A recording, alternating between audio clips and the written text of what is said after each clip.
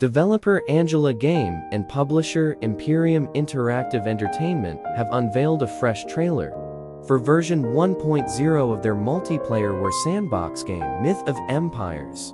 The trailer showcases the game's exhilarating gameplay and immersive content enhancements. In anticipation of its Steam launch in February 2024, Myth of Empires version 1.0 refines the gameplay from the early access period.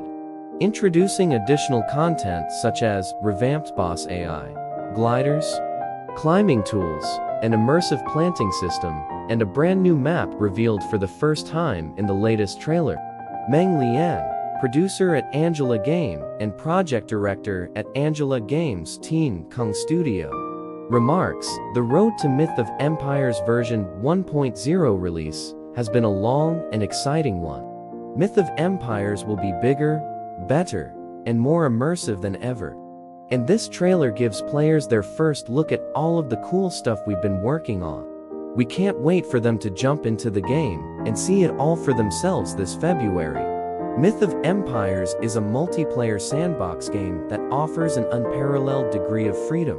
Players must struggle to survive in a war-torn world, construct fortresses, lead armies in epic battles, siege enemy cities, and establish their own empires. Key features in Myth of Empires version 1.0 include new ways to traverse the world, soaring gliders, climbing tools for scaling towering walls, platform saddles for combat or transportation, new defensive structures and mechanical collection tools, empowering players' creativity for advanced and powerful empires. New map, Dong's Houseland, an expansive territory with islets, volcanoes, seas, ships, and new boss content a free edition. New ways toplay, hosted and solo modes. Private servers with official server functionality. Modding support, robust suite of modding tools for increased player influence.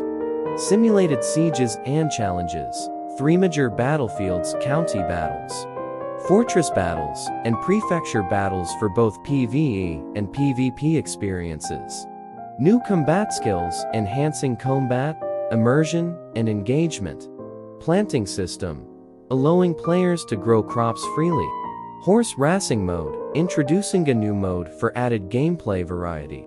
Post-release updates, new characters, weapons, structures, saddles, and armor cosmetics planned after the version 1.0 release.